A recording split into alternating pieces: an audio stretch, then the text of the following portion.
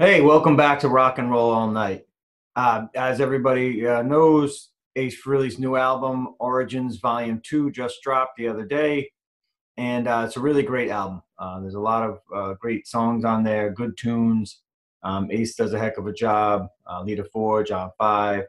Um, it's just a, a, a, great album. Robin Zander's on there. So it's a great album.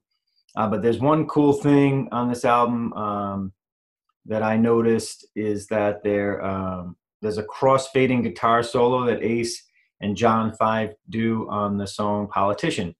And um, recently, I interviewed Alex Salzman, and um, we talked about that. And I also noticed that Ace talked about it in an interview on AXS TV. So um, I want you guys to check this out. I think it's pretty cool, um, and to hear how it was done and then um, to listen to it. So what I've got here, I've got three clips. The first clip is Ace in his interview on AXS TV, where he talks about the crossfading guitar solos. And then it's my interview with Alex Salzman in the second clip, talking about the crossfading guitar solos, John Five. And then at the end is the actual guitar solo so you can hear it. So uh, also, I put some audio of the guitar solo in the background of the uh, of Ace talking, and also when Alex is talking, so you can hear it at the same time. So check this out. I think it's pretty cool, and if you haven't picked up the album yet, it's definitely worth worth it. Um, go out and grab it. Check this out. And the other song John plays on is "Politician" by Cream and we did a really long extended guitar solo and we're playing simultaneously.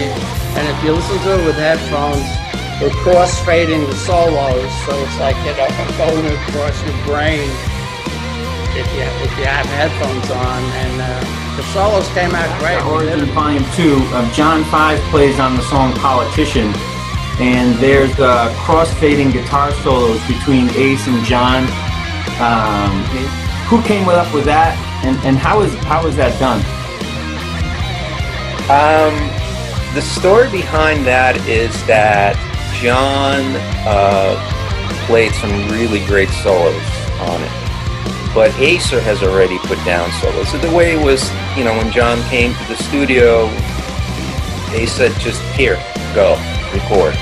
And John's amazing. I mean, uh, between you, and, you and me, well, no, between everybody now those are like some of the stuff is first take.